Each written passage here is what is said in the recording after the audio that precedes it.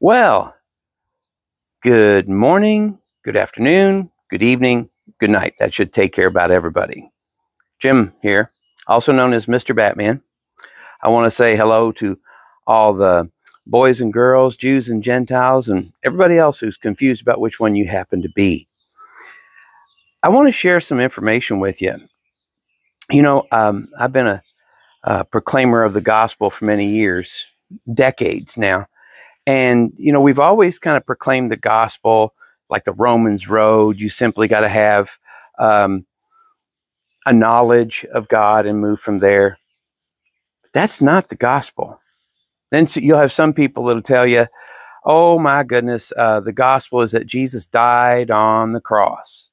While that is an integral part, it is not the gospel. While that's very good news, because that pays for the gospel, that is not the gospel. The gospel is John chapter 15, beginning at verse 1. You see, we have an olive tree. What does the olive tree represent? The olive tree represents Israel.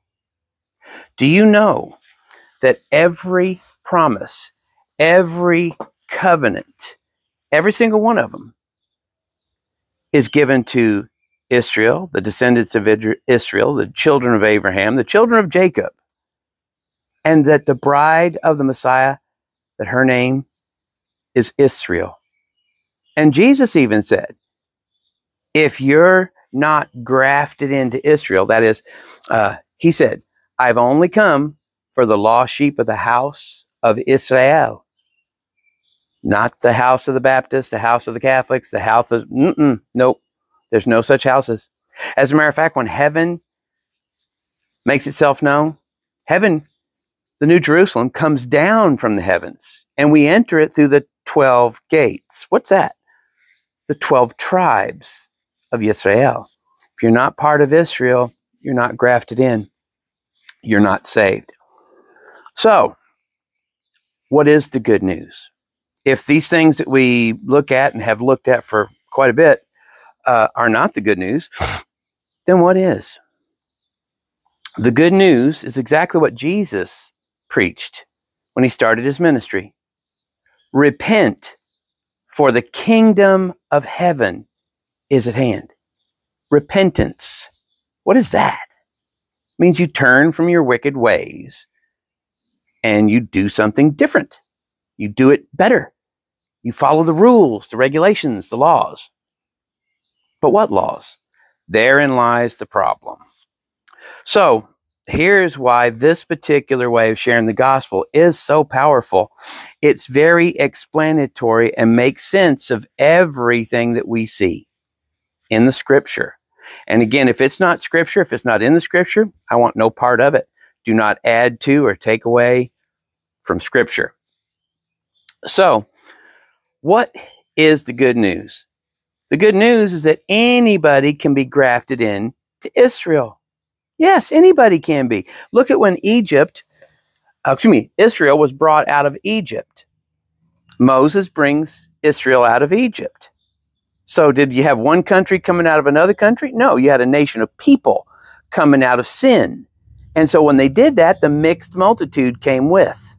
Uh oh. Moses turned around and said, Hey, God, I got this problem. All these people are following me with all their stuff. What do I do? God says to Moses, Tell them if they will keep my Sabbaths and obey my righteous rulings, then they will be my people. If this, then that. Good. Now we know how you can become Israel. Anybody can become Israel. What is Israel supposed to look like? Israel is the one who is given the uh, the scrolls, the law, the Torah. So, how do you share the gospel? Well, here we go. You see, the gospel is Jesus Christ, the Messiah. Now, I'm going to go ahead and preface this. You're going to hear me say this quite a bit. The Jesus Christ of churchianity, that guy will send you straight to hell. The Jesus Christ of the Bible, his name is Yeshua. He is the true Messiah. Excuse me. Allergies and everything else going on. But anyway, so Yeshua is the door. John 14, 6. No one comes to the Father except through me. He's also the way, the truth, and the life. Okay, so he's the door. Now, Jesus has done everything he had to do. That's why he said, It is finished.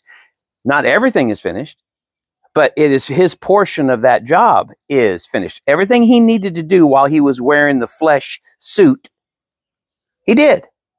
That's why his job was finished, that portion of it. Okay, so um, now we've got the gospel. We've got Jesus doing everything he needs to do to do what? To provide salvation for every person who's ever lived, whoever will live. Now, this is not universal, everybody goes to heaven stuff. No, but you're provided with an opportunity for salvation. What's that mean? Well, the Bible says that there's two paths. There's the broad path that leads to destruction and damnation. That's the road to hell. And then there's the narrow path. The narrow path is difficult. It's hard to find. Few people will even find it because they're not looking. So, um, the narrow path is obedience to God completely, and that is walking out the Torah. You know, in Ephesians chapter 2, beginning of verse 10, it says, We are His workmanship. Whose? Jesus' workmanship. How do you know? Because it says so in the very next words. Created in Christ Jesus for good works that he prepared beforehand that you should walk in them. Every place it says, walk as Jesus walks, live as Jesus lived his life here in the flesh suit, where that's our example. So, obedience to keep that Torah gets you on the narrow path to the door. But if you're not on that narrow path, you're on the broad path, you're not going to get to the door. So, why is this so important to understand? Because we are created for good works of uh, Ecclesiastes chapter 12. And notice I'm going to always try and my best. I'm, I'm going through some stuff right now medically, so I'm having a hard time with numbers, but I'm always going to try my best to give you a GPS location. God's perfect scripture book, chapter and verse. And God's scripture, God's word, the Holy Bible, is just that. It is God's word and you can trust it. It's perfect. Perfect things don't ever change. So here is the gospel in a nutshell. Jesus died to pay the price so you could have an opportunity at salvation. Now, what do you got to do? You got to accept that that's what he did. And now you got to get on the path. You got to repent from walking on the broad way. You got to repent from that broad path and come back. Do you know that's grace? That's merited favor. You'll hear a lot of people, especially Baptists, they'll tell you that grace is unmerited favor. I used to be a Baptist pastor. I know. I used to say the same darn thing. But then when you do a study on that, you'll find that's not the case. Mercy is free. Mercy is not asked for, or deserved, or, or uh, it's not a reward. But grace is. Grace is merited favor. Grace, God looks on you with grace, with favor, when you turn from your wicked ways and come back to Him. Look at the prodigal son. Exactly. That's it. So turn from your wicked ways. How do you do that? What's wicked? You cannot know what sin is without the Torah.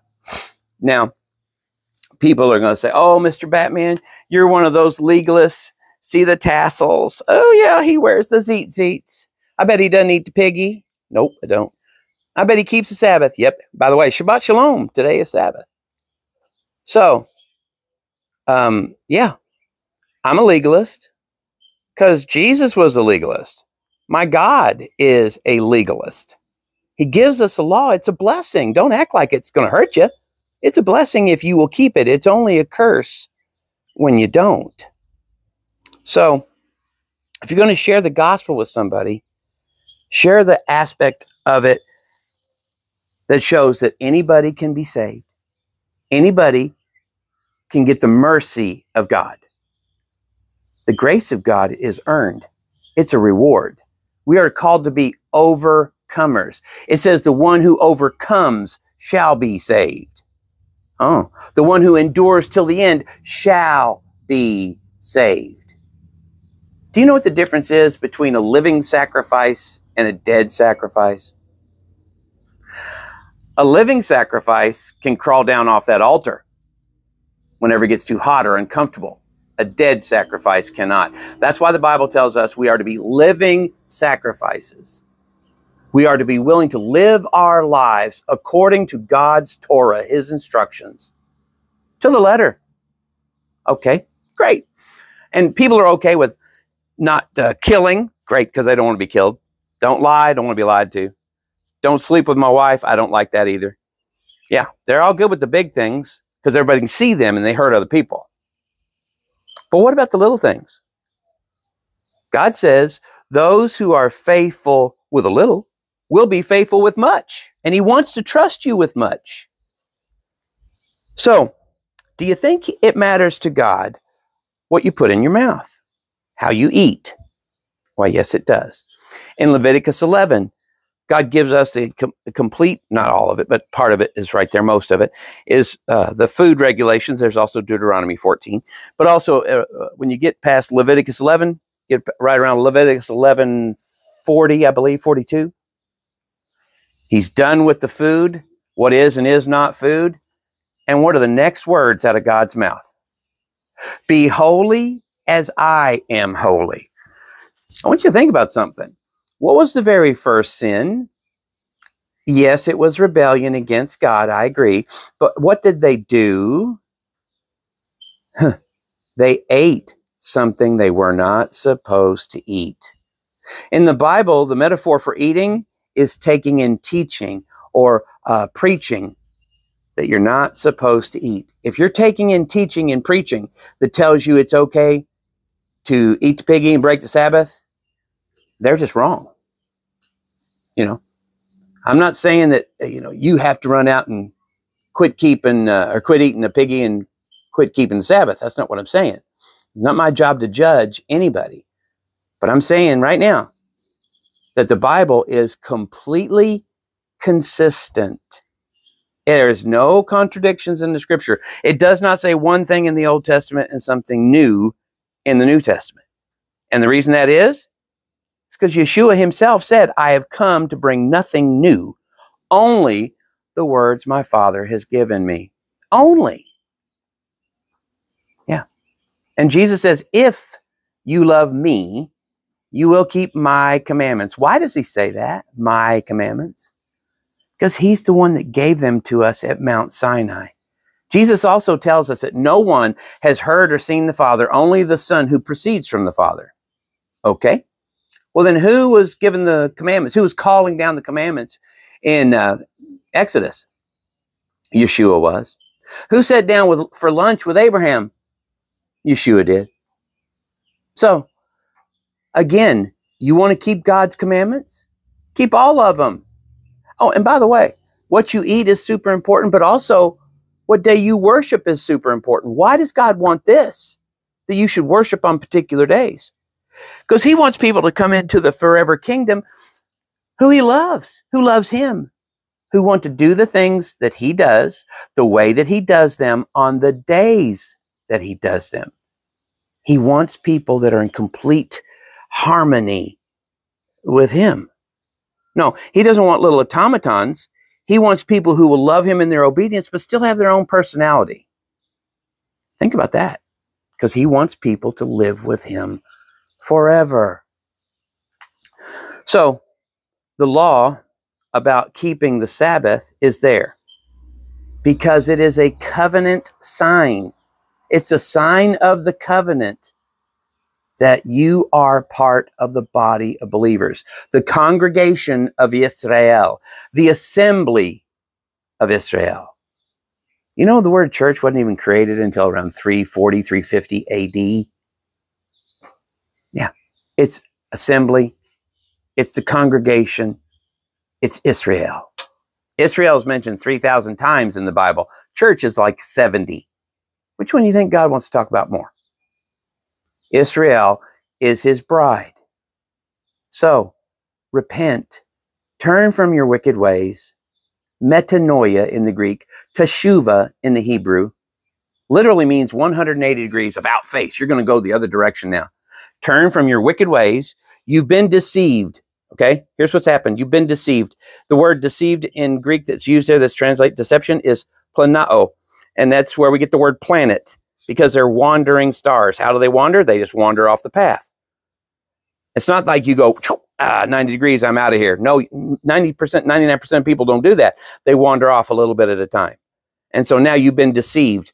Now it's your task to look at yourself in the mirror and say, oh my goodness, I'm not doing this right. I need to metanoia, come back to the path. That path is Torah. Come back and get the grace that God wants to look on you with favor. That's what this means to look on with favor. God wants to look on you with favor like the prodigal son and wrap his arms around you and say, Come on in, boy. That's grace. He's already given you the mercy if you've accepted him into your life and want to live your life for him. Really, acceptance is irrelevant. You have to desire and love him. That's not acceptance. That's something totally different. Because love is a verb. Love is something you do. Love is not a feeling. So, boys and girls, if you have any questions, I'd be happy to help you, answer any questions you might have. Um, I am Jim, also known as Mr. Batman. Actually, it's the other way around. I'm Mr. Batman, also known as Jim. And if you like, you can reach out to me at 502 354 8699. Also at MrBatman.com. Yes, that is my very own website where I teach science and apologetics for all ages. And I'll also be happy to help you in any way I can. God bless and have a great day.